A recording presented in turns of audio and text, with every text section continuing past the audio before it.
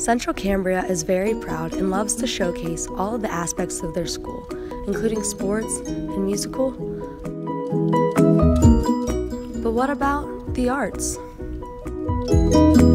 Central Cambria is holding their first annual art gallery on Thursday, May 5th from 7 o'clock to 8 o'clock p.m. in the G Wing. Hi.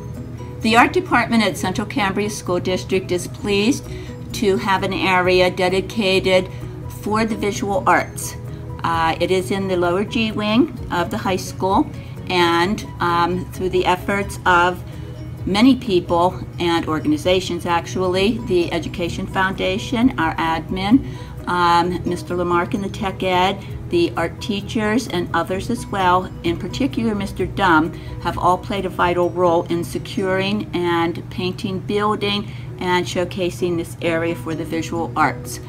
Um, what we would like to have you know is that this Thursday from 7 to 8 there will be the inaugural opening of this area and space with an exhibit of student artwork from K through 12 to highlight this area.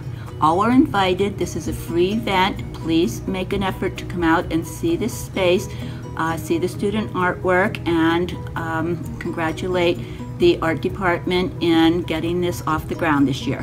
Thank you.